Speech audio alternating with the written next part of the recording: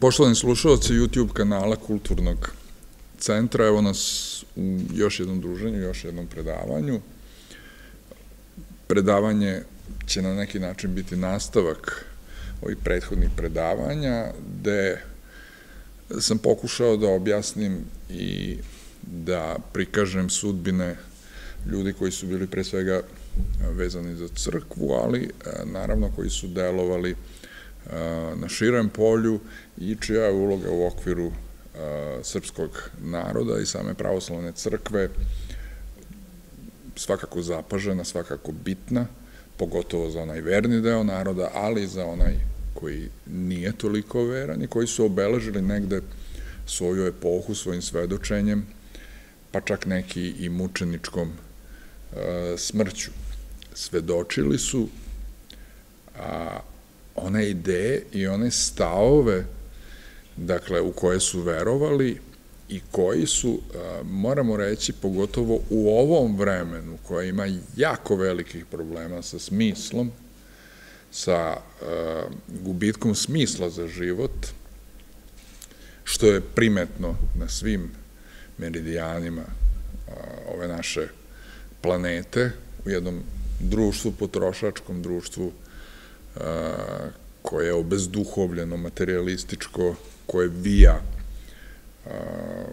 samo uspeh pojedinca, uspeh naroda, koje strateški gleda geopolitički velike sile, pogotovo da, da ovladaju svetom na različite načine, gde se zaista prostor za jednu iskonsku, izvornu dobrotu, e, ono što na neki način može da nadživi jedino ovaj svet, dakle za to se interesovanje izgubilo, odnosno ovaj svet, njegove elite diktiraju jedan drugačiji model ponašanja, drugačiji model ciljeva i drugačije prioritete čoveku. I čovek najčešće, pogotovo u poslednje vreme, se oseti potrošen, istrošen, neostvaren, nerealizovan, dakle, kao takav počinje da traga za smislom. I u tom traganju može da shvati da ovaj svet sa svim svojim spektaklima ne nudi smisao. Smisao može da dođe samo, to je sigurno zaključak svakog čoveka koji se uroni u takvo jedno traganje, smisao može da dođe samo van ovoga sveta, dakle, izvan ovoga sveta, iz nekog carstva koje, kako je sam Hristos rekao, i nije od ovoga sveta. Dakle, to carstvo je otkriveno i upravo, dakle, u tom načinu, drugačijem načinu postojanja, može čovek da nađe smisao. Ljudi koji su tražili u tome smisao, pripadnici crkve pre svega, ne moraju biti episkopi, ne moraju biti vladike, ne moraju, mogu biti obični ljudi, jer crkva nije samo njena e, hijerarhija, jerarhija, jer crkva je čitav narod. Dakle, takvi ljudi su svojim životom, kao što sam neke i opisao, svedočili dakle, taj jedan drugi svet, bolji svet koji nadilazi ovaj svet i koji se proteže negde, negde u večnost, koji jeste dakle, nešto poseta večnosti u ovom, u ovom vremenu. Ovde samo da kažem još nekoli, nekolike stvari. Kako se propagira taj svet? I to je sad ono što je potpuno različito od ovoga sveta i mi vidimo da taj, ta borba za takav drugi svet nije ista kao što se razne frakcije, da li političke, da li vojne, da li ekonomske, bore za dominaciju u ovom svetu.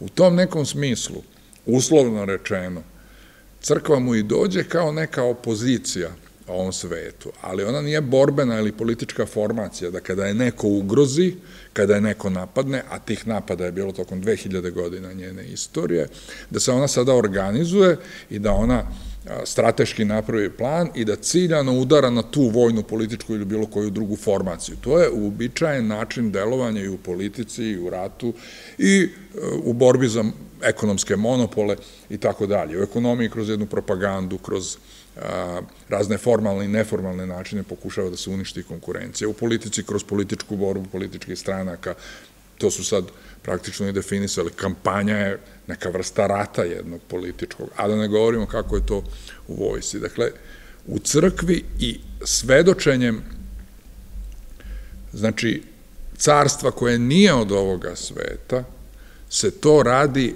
upravo, ovo što sam sad malo pre rekao, svedočenjem.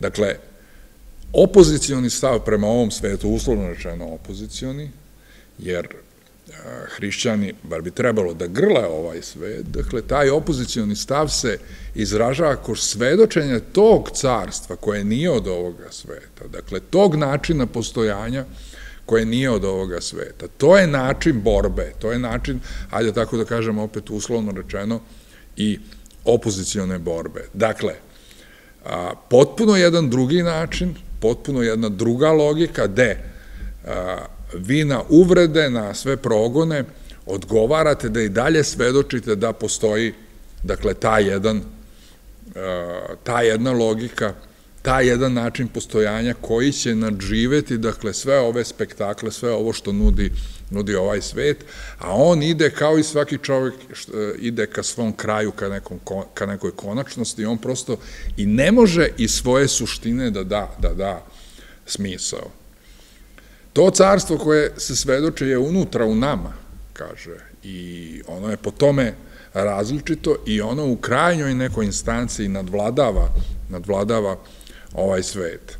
Dakle, u tom nekom kontekstu potrebe za nečim takvim, potrebno je, ja smatram, a smatraju i mnogi drugi, da prosto i zato sam i organizovao nekolike tribine na tu temu, Dakle, smatram da treba da proučimo te ljude i takve ljude koji su, dakle, svedočili tim metodama, tom logikom, dakle, drugačiji način postojanja i davali smisao kroz ono kako kaže apostol Pavle, kaže, mi nemamo ovde postojanog grada, odnosno, ovo što sam malo pre rekao, ovaj svet nam ne može dati smisao koji je pre svega osjećanje, ne emocija, nego osjećanje, nešto mnogo dublje i koje je u nama.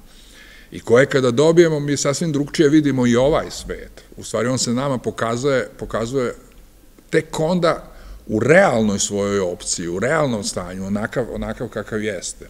Dakle, taj svet su svedočili, kao što sam rekao, mnogi i smatrao sam da treba da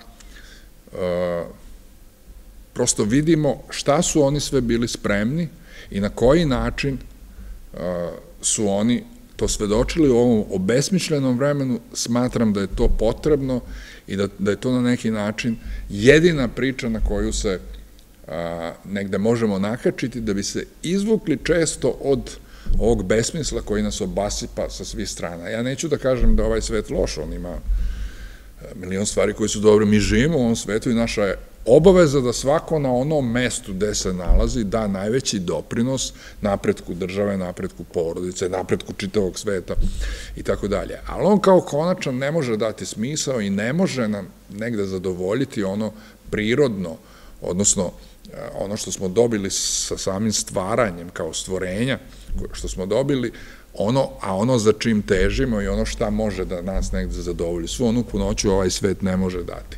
Jedan od takvih svedoka je bio, zato sam ga izabrao za, za tribinu, za predavanje, upravo ovo, Vasilije Kostić, pastir u obezboženom vremenu. Dakle, Vasilije Kostić je svedočio najjače i najsnažnije upravo u vremenu komunizma, koje je i bilo poznato po tome da je e, diglo praktično sve svoje resurse da uništi upravo to, e, ovo malo pre što sam govorio, da uništi jednu nadu i jednu e, veru čoveka, pre svega običnog čoveka, u nešto što nadilazi ovaj svet i u nešto što daje sveukupan smisao. Logika je bila jasna. Nije crkva pogotovo nije bila konkurent e, komunistima i mnogim drugim vlastima, nisu to samo komunisti radili. Ali su oni nju tako doživljavali, jer oni su ideologija jedan koncept koji daje, naravno, pojednostavljene odgovore, više sektaškog e, tipa, na sve ono što se dešava u svetu. Dakle, ona se ne ograničava samo na određenu oblast, ona daje jedan koncept sveta. A oni shvatiši da je crkveni koncept sveta potpuno različit od njihovog, oni su ih shvatili kao konkurenciju i onda su ih e, prosto gonili i to je bio jedan strateški projekat negde gotovo uništiti ili u krajnjoj liniji marginalizovati crkvu da ne može da igra nikakvu ulogu u e, društvu i u državi koju su oni stvorili. Oni su gotovo uspeli, ali ni, nisu do kraja, što je jako bitna stvar, što mu onda dođe da nisu uspeli, jel, jel, crkva je gonjena 2000 godina, naravno bilo je perioda kad nije, ali 2000 godina je izdržavala upravo zbog ovoga što sam rekao. Ona, dakle, svedoči nešto što nije od ovoga, nije od ovoga sveta, a što je nešto što je prijemčivo za nas, i na što smo mi svi pozvani da odgovorimo na taj poziv, jer to je jedino nešto, opet ponavljam, što može dati smisao našim životima. Dakle, a, mi nemamo postojanog rada ovde, kako kaže sveti apostol Pavle, čekamo onaj koji će doći. Dakle, mi imamo jedan moment da osjećamo taj postojani grad, ali čekamo da on dođe u svoj svojoj punoći i to je taj smisao, ono, glavni koji se nudi od dakle, svih oni koji propovedaju i svedoče samo Hrista. Vasilij Kostić je rođen 1907. godine u Velikom Jovanovcu kod Pirota i taj kraj je bio u principu dosta pobožan i možemo reći da je 1907. godina, to je još period kada tek će kasnije naći one sela, one migracije selo-grade, zaista došlo do, pogotovo u komunističkom periodu, da je došlo do, u svo ovo strategiju, što sam rekao, komunističke vlasti, da je došlo do zaista jedne apostasije otpada od vere, gde su mladi pre svega poleteli da ostvaruju neke svoje druge ciljeve, druge uspehe, gde su im se vizije više nisu poklapale sa jednom crkvenom vizijom, gde su smatrali da je uspeh u ovom svetu, materijalni dobitak i sve druge stvari koje nudi i danas u krajnjoj liniji taj svet, smatrali su prioritetnijim. Dakle, Pirot je bio, ta okolina Pirota, I taj predao je vladika Nikolaj čak nazvao Mali Jerusalim, dakle, bilo je mnogo pobožnih ljudi, pogotovo dole čak u Vranju, odakle otac Justin, tu su bili ljudi još skromniji, možda i još pobožniji ili, ajde sad da ne merimo pobožnost, dakle, on je rođen u tom kraju, on u svojoj porodici zaista osetio to vaspitanje i to vaspitanje je bilo temelj njegovog kasnijeg delovanja. Ono mu je ulilo jednu snagu koju će on pokazivati u svom kasnijem delovanju, a upravo će to pokazivati kao svedok, ovo što sam govorio pre toga, ali nekada, boga mi, dosta žestok svedok po cenu, čak i da strada, a to ćemo vidjeti iz jednog dela koji ću, koji ću pročitati. Pošto je izbio brzo Balkanski rat, pa je onda izbio Prvi svetski rat, on je praktično krenuo u školu tek posle Prvog svetskog rata i a, 1921. godine se posle te škole koju je završio onako po nekom skraćenom kursu osnovne, upisao gimnaziju i on sad daje prva zapažanja, već tada Jugoslavija je već nešto novo, to je 20. vek, to je jak uticaj zapadne Evrope i naš jedan kontakt i otklon od svega onog tradicionalnog predanjskog. On govori da neki profesori u gimnaziji su već ateisti i guraju tu neku priču, ima još uvek i ovih pobožnih, Ali, kaže da, pošto je Vladika Nikolaj često dolazio, da je slušajući nekoliko puta njegove besede, poželio da se upiše na bogosloviju i da vidi kako učeni ljudi pričaju sada o veri. Čuje neke profesore svetovne, tako da kažemo, koji su pričali na jedan način i upisao se u bogosloviju Karlovcima 1925. godine. E tu je sreo oca Justina i njegovi još neki prijatelji, kasnije vladike, dakle sreo oca Justina i to je jedan možda ključni moment gde se on opredelio da praktično njegov životni poziv bude, mislim, opredelio se on donekle kada je na bogosloviju otišao, ali pogotovo, dakle, kada je dakle, upoznao oca Justina i ovaj je ostavio zaista veliki utisak na njega, dakle sa svojim predavanjem, sa svojim besedama, sa svojim podvigom, svojim odnosom prema svemu tome što on upoznavao i tek se negde formiralo u njegovoj duši i taj utisak se vidi da je bio toliko snažan već 1930. godine kada je upisao bogoslovski fakultet, primio monaški postrig i sa 23 godine je postao praktično monah, odlučio se da sav svoj život posveti, dakle veri posveti samome Hristu, posveti crkvi. 1934. godine je završio bogoslovski fakultet i proizveden je u jerođakona, pa vrlo brzo u jeromonaha, što znači i sveštenik i monah, dakle postao je i sveštenik.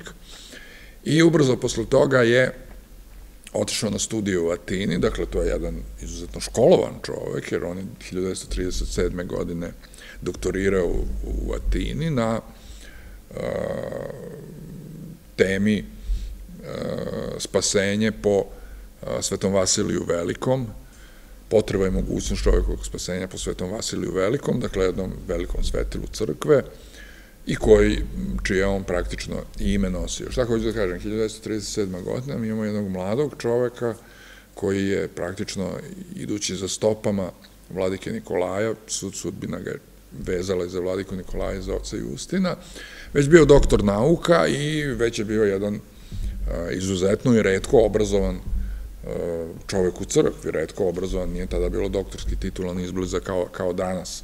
Dakle, sve to završivši na jednom stranom univerzitetu, pravoslavnom, ali u svakom slučaju jedna lepa karijera do tada. Tada je izbio otprilike 1937. godine konkordatska kriza i on je bio izuzetno angažovan sa vladikom Nikolajem, sa ljudima kojima sam pričao, Jakovom Marsovićem, Jovanom Rapajićem i mnogima drugima, jel? Svu tu borbu i taj otpor, pravio sam i predavanje o konkordatskoj krizi, je vodio Patriarh Varnava, on je na neki način životom platio. Tu borbu opet je svedočio, jel? On je svedočio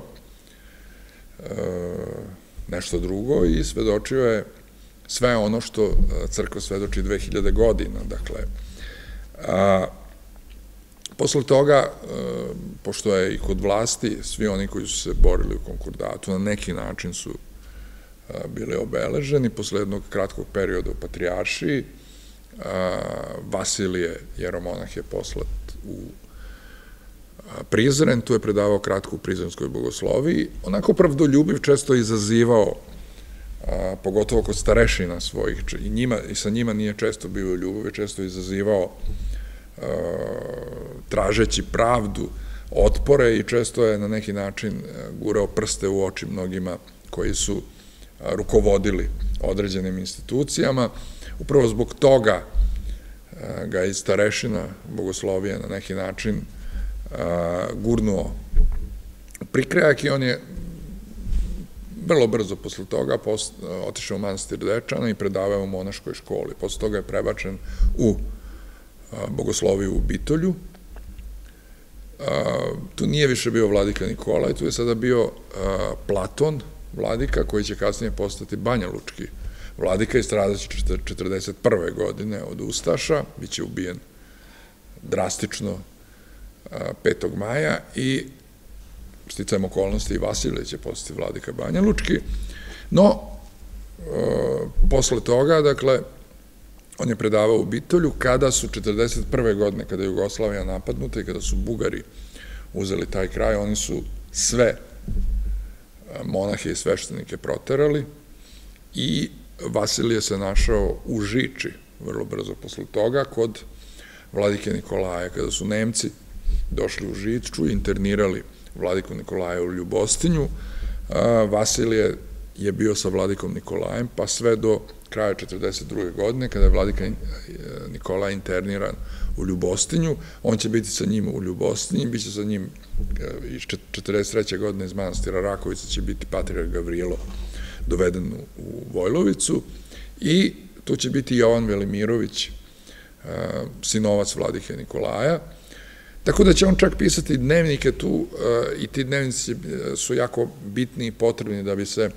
rasvetlila i ona uloga i ono što je pisao i kako je vladika Nikolaj shvatao srpski narod, pogotovo u tim danima stradanja. Ono što je takođe bitno, što Vasile piše, piše o svojim dnevnicima, što opovrgava određene insinuacije da je vladika Nikolaj, ne daj Bože, sarađivao s Nemcima i tako dalje, govori o svim tim nebuloznim pričanjima, kaže da su se Nemci jako bojali, oni su pod jakom stražom bili, da su se bojali da neka borbena formacija, da li četnici, da li partizani, da li ovi, da li oni oslobode ili otmu vladiku Nikolaja, jer on bi njima bio veliki kapital, mogli bi da kažu vladika Nikolaju, znaš, dobro, nisu se paš plašili baš za partizane, oni ga ne bi, ali ili ovi ili oni i tako da ta negde priča prosto ne pije vodu. Da je to tako, govori 44. godina, kada u septembru već Nemci spremaju da beže i odvode iz Vojlovice Vladiko Nikolaj i Patriarha Gavrijela, dakle oni će biti posla u Dahau, vratit će se kasnije, a Vasilije dolazi opet u Patrijaršiju, ali već mora negde u novembru, pošto je klima jako loša, sprema se praktično strategija za jedan obračun sa crkvom, kao što sam rekao, što, pošto komunisti nju shvataju kao uh, jednu uvek alternativnu uh, ideologiju, alternativnu organizaciju, kako je oni shvataju, i oni smatraju da moraju da s tim, s tim raščeste, da bi negde pokrčili put svojoj ideologiji, da bi negde oni zavladali ne samo ovako što su zavladali na državnom nivou, nego da bi zavladali i dušama ljudi i psihološki, duhovno i kako god, kako god hoćemo. Dakle, u tom nekom smislu Vasilija odlazi iz Beograda i biva poluskriven po Pirotu i u okolini Pirota, ali ga 46. zajedno sa, sa ocem Justinom hapse u Pirotu, tu boravi nekoliko dana, onda ih prebacuju u Beograd, ali na zalaganje jednog prijatelja oca Justina i mitropolita Josifa, koji je vršio dužnost patrijarha, uskoro će doći i patrijarh Gavrilo. Oni njih puštaju, otac Justin odlazi u, dakle, njegov profesor, njegov predavač, odlazi sticajem okolnosti negde oko 48. godine u manastir Ćelije i dalje znamo priču o ocu Justinu, a Vasilije, dolazeći u patrijaršiju, dakle, njemu 47. godine daju mm, eparhiju Banja Lučku, gde, kao što sam rekao, 5. maja 1941. godine vladika Platon postradao od Ustaša i on odlazi spreman, srećan da svedoči, da obnovi crkvu u tim najtežim vremenima, kaže od oko 200 crkava u Banja Lučkoj eparhiji, 100 je bilo uništeno, što od Ustaša, što kasnije komunisti su na jedan drugačiji način progonili, tako će i vladiku Vasilija progoniti, dakle oni nisu baš kao Ustaša, ali na jedan drugačiji način i to će krenuti pogotovo početkom 50. godina, kada budu zatočeni mnogi episkopi, Varnava Nastić, Arsenije Mitropolit Crnogorski, Nektarije Dobrovosanski, Vasilije će biti gonjen. Dakle, ti 50. godina su oni raznoraznim sredstvima kombinovanim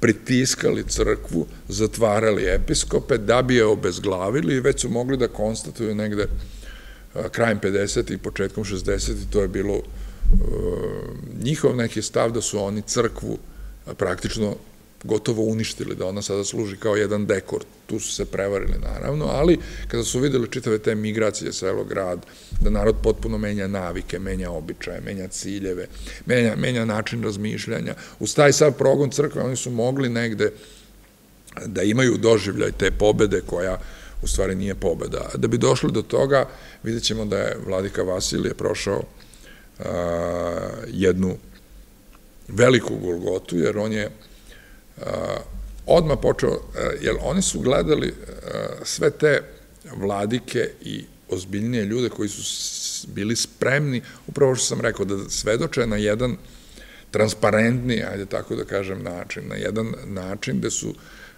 bili spremni da govore šta se stvarno desilo, pa je tako vladika Vasilije govorio da su Ustaše pobile narod tamo, a ne onaj narativ koji su gurali komunisti, bratstvo, jedinstvo, a da su svi antifašističke žrtve fašiste. Onda se tu ne zna ni ko je koga gonio, ni ko je koga ubio. To je tako jedan provizorijum, da vi u stvari ne znate više ni ko vam je neprijatelj, ni ko vam je prijatelj, ni koga na koji način da opojete, ni koga na koji način da oplačete, ni koga na koji način da proslavite na neki način. Tako da, u tom smislu je on govorio da je vladika Platon ubijen od Ustaša, da su mnogi ubijeni od Ustaša zato što su pravoslavni Srbi. To je nešto što je njima smetalo i onda idu na optužbe. On je Ljotićevac, on je Četnik, on je ovo, on je ono i oni ga, Udba Bosanska ga proteruje i on više od godinu dana biva proteran iz Banjučke eparhije, ali on se vraća.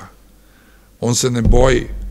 On se vraća i ipak 53. E, godine jedan konkretniji napad je on doživeo da bi bio proteran, da bi bio praktično ostranjen iz te eparhije, a ja ću sada pročitati, možda će malo duže biti, pročitaću delove njegovog izveštaja kada je 53. posle tog proterivanja došao u Beograd. On je ovaj izveštaj dao Svetom arhijerejskom sinodu i on dan danas postoji zaveden može se, može se pročitati. Kaže, u vezi mog proterivanja iz Banja Luke na dan 22. augusta ove godine, čas mi je doneti svetom arhijerevskom sinodu sledeći izveštaj. Dana 18. augusta ove godine, uoči preobraženja, rukovodioci Socijalističkog saveza radnog naroda Jugoslavije u Banja Luci održali su na raznim mestima u Banja Luci konferencije na kojima su me napadali da ne sarađujem sa narodnim vlastima – da sam saradnik okupatora, neprijatelj današnjica i naroda. Rekli su da sam za preobraženje zakazao crkveni sabor u Rebrovačkoj crkvi, koju ću pretvoriti u političku manifestaciju. Crkva je na periferiji Banja Luke. Posle ovih konferencija, jedan deo njihovih učesnika prošao je da demonstrira. Pored episkopije prošlo je 150 do 200 ljudi i žena, oko 9 časova vičući. Dole vladika Kostić, napolje iz Banja Luke, napolje iz zemlje, dole narodni neprijatelj, dole krvave mantije. Gde mu je Draža Mihajlović? Pretili su mi da se ne usudim držati tobože zakazani zbor u Rebrovcu. Naglašavam da ova crkva ne slavi preobraženje kao svoju slavu, već malu gospojinu, te uopšte nije bilo potrebe da toga dana bude ma kakva specijalna svečanost koju bih i ja prisustvovao, niti u tom smislu išta preduzimano. U Banja Luci je za 20. avgust dakle dva dana kasnije, zakazan miting, ljudi su lično pozivani da dođu na miting koji je održan između 6 i 8 časova uveče. Na njemu su ponovljeni napadi protiv mene sa ranijim parolama i poklicima. Donet je zaključak da mi delegacija od 9-10 ljudi saopšti da napustim Banja Luku u roku od 48 časova. Pomenuta delegacija posetila me u episkopiji na dan 21. augusta oko 8 i po časova izjutra. Predvodio je prosvetni inspektor Drago Zečević, učitelj i bili su i Nikola Babić profesor, Popović, direktor banke i još nekoliko osoba i jedna žena među njima, čija su mi imena nepoznata. Delegaciju sam primio u prisutstvu mog arhijerejskog zamenika, protojereja Stavrofora, Đorđa Vranješevića i protojereja Branimira Davidovića, sekretara Crkvenog suda, Svi članovi delegacije ušli su u moju kancelariju sa rukama pozadi, ne pozdravljajući se nisakim. Drago Zečević je rekao, po odluci naroda Banja Luke, na sinoćnem mitingu, došli smo da, vas, da vam saopštimo da napustite Banja Luku od roku od 48 časova. U protivnom, za posledice ne snosimo odgovornost. Vama kao saradniku okupatora, neprijatelju naroda i današnjice nema mesta u Banja Luci. Posle ovog usmenog saopštenja upitao sam da li imaju pismenu odluku na koju bi se ja u zakonskom roku žalio.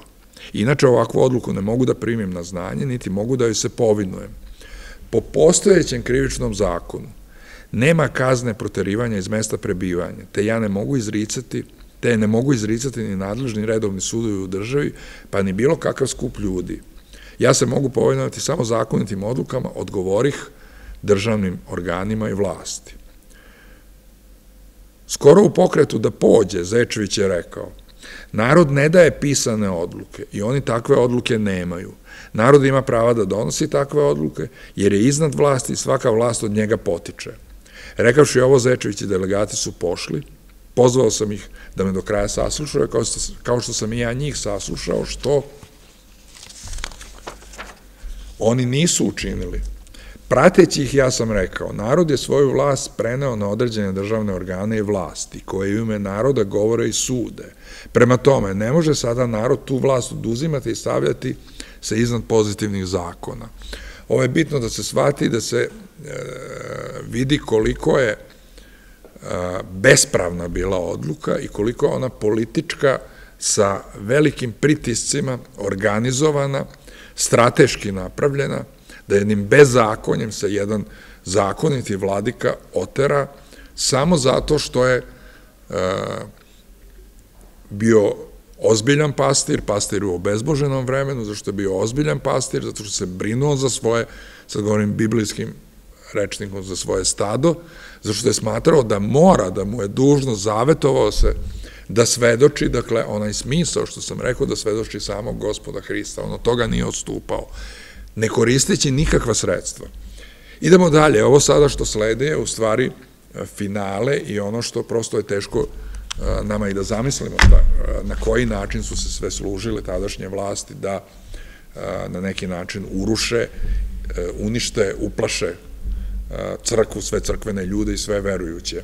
Ljude koji su u tradiciji, nije sad e, samo ovo da govorim crkva, ljudi koji su u tradiciji jedne svetosavske srpske istorije, znači koji su u tradiciji svih svojih predaka, Nemanjića, jer komunizam je jedna strana ideologija uvedena jedan kojom su se zarazili i sinovi srpski i kroz jednu logiku kako su stranci, pre svega Austrija, posmatrali Srbiju i njene interese, tako su i oni posmatrali. Otud ta logika, dakle ne samo ovaj ideološki deo, nego i strateški i geopolitički deo je potpuno, potpuno stran srpskom narodu, ali ovde se goni nešto što je izvorno srpsko. Pa kaže, Odmah iz ovog razgovora brzo ja vam sam izvestio Sveti arhijerejski sinod o mom odgovoru delegaciji. Zatim sam uputio zvaničan akt gradskom odboru sekretarijata za unutrašnje poslove u Banja Luci sa plaćenim odgovorom. U aktu sam izvestio upravne vlasti u demonstracijama protiv mene o mitingu i usmenom saopštenju delegacije sa mitinga. Molio sam da mi se garantuje bezbednost koja se pruža svakom građaninu FNRJ, čak i onima koji su zbog prestupa po zakonu osuđeni. Ovaj pismeni akt lično su predali moj zamenik Vranješević i sekretar Davidović, načelniku sekretarijata Irfanu Karabegoviću. Obećaju da će stvar proučiti i dati odgovor. Posle podne istoga dana sekretarijat je pozvao protu Vranješevića, Karabegović mu je vratio moj akt, nezaveden i usmeno i rekao mi vlast ne može garantovati bezbednost. Zaštita se pruža pojedincima kada im bezbednost bude ugrožena od pojedinaca. Ovde je u pitanju volja naroda izražena na mitingu protiv čega se ništa ne može učiniti. Tako recite vi gospodinu Vladici Kostiću, rekao je na kraju protiv Ranješeviću Karabegović. Umeđu vremenu stigao je brzo ja sa odgovorom njegove svetosti da po odluci sinoda odmah krenem za Beograd. To sam mogao da učinim tek sutradan 22. augusta vozom koji polazi u 9. i četvrt, uveče iz Banja Luke za Beograd preko Doboja, a rok je isticao tek 23. augusta pre podne.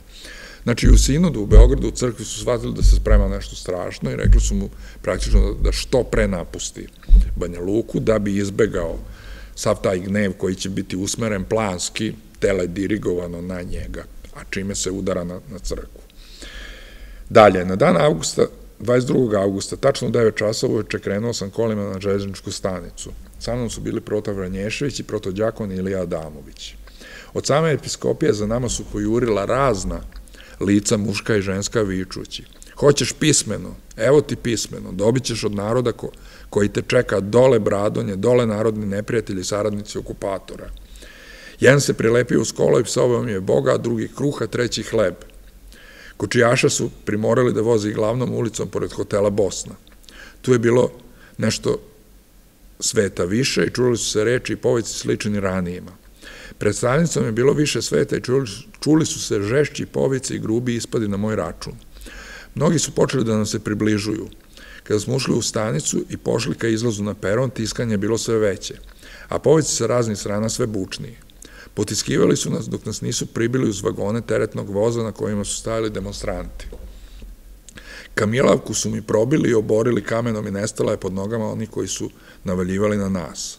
Počela je da pada kiša, ja sam stavio pola sata gologlav na kiši, izložen raznim šikanama. Pljuvali u lice, pokušavali da me vuku za bradu, udarali me po glavi, gađali paradajzom, gađali me šljunkom i kamenjem sa perona. Nisu štedili ni mog zamenika, iako su mu se izvinjavali da to nije namenjeno njemu, već meni. Neko od rukovodilaca komiteta govorio i pozivao prisutni narod da vidi vladiku Kostića, narodnog neprijatelja, koji mora da napusti Banja Luku. Jedan podoficir stalno mi se unosio u lice i govorio, mi smo materijalisti, verujemo samo u materiju, a ne u besmrtnost duše, kako vi popovi učite. Priznaj da je to besmislica. Ti si sarađivao sa okupatorom, a nećeš sa današnjim vlastima. Vidiš, zato te narod tera. Priznaj da si pogrešio, pokaj se. Drugi je vikao, hajde reci nešto ovom narodu, održi jedan govor i priznaj da si izdajnik. Inače vadi pasoš, pa idi iz zemlje. S vremena na vreme neki su se probijeli između kordona milicajaca i šutirali me. Neki su me udarali rukama po slabinama, butinama i leđima. Najviše su me gađali pod krivenoj glavi paradajzom, šljunkom i kamenicama. Težu ozledu dobio sam kamenicom po glavi iznad desnog uveta gde je rasečena koža, te je dugo usput krvarilo. Kamenicom su me udarali po desnoj oboru i nosu, dva puta sam bio oboren na peron i pao sam preko šina. Jedni su me vukli na jednu, drugi na drugu stranu, te su mi pocepali pelerinu i gornju mantiju. Voz je bio zaustavljen dalje od staničnog perona, sa polaskom je zakasnio više od 15 minuta. Dok su me dva milicajca vodila ka vozu, dotle su me razna lica od pozadi vukla za mantiju. Tada sam se jedva popeo na voz. Umalo me sa stepenica vagona nisu oborili na zemlju.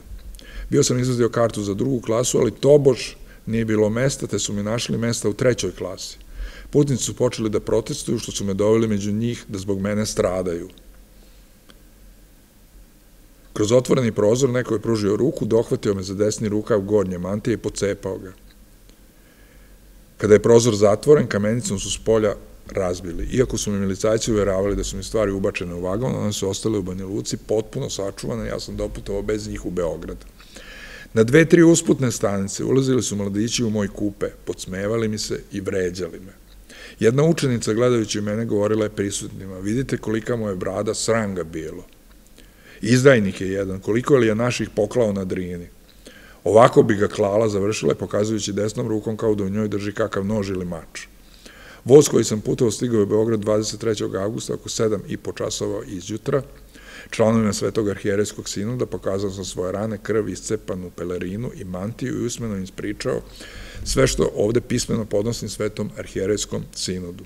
Stoga mislim da nije potrebno da podnosim bilo kakav lekarski izveštaj ili uverenje o mojim povredama. Zaista ovo kad čovjek pročita ne može da shvati da se tako nešto moglo dešavati, no ipak se dešavalo i govori o metodama koje su tokom 50. godina desetkovale crkvu, utarale strah u kosti mnogima i na neki način bacile zaista na društvenu marginu, ali ipak je nisu uništili, što smo videli krajem 80. kada je počelo da se prosto diže jedna hajde kazat ćemo crkva je organizam, ali jedna institucija, možemo i tako kazati, koja je najzaslužnija za ono sve što su Srbi dobili kroz istoriju, što su ovo što su jesu. Za kraj samo još nešto, da on kaže, a upravo to govorim u prilog ovoga, on je bio svedok i ništa drugo, da on, naravno, to je brdo laži, uopšte da je sarađivao s nekim politički, a kamoli da je klao i tako. Mislim, to je izvan svake pameti. I čak je zaista potresno ovo svedočanstvo njegovo. Kaže, za ovakav postupak pre meni nisam dao mesnim partijskim frontovskim rukovodevacima nikakav povod. Od moga povratka u Banja Luku, gde sam ostao dva meseca, nisam išao nigde van Banja Luke, niti sam kog sveštenika pozivao na odgovornost, ako je član svešteničkog udruženja. Niti sam pak pismeno ni usmeno objašnjavao novi zakon o verskim zajednicama. Niti ima trunke istine u dopisima raznih novinara po dnevnim listovima, koji serviraju očigledne neistine bez obzira na moral novinara koji ih obavezuje da samo proverenu istinu iznose u javnost.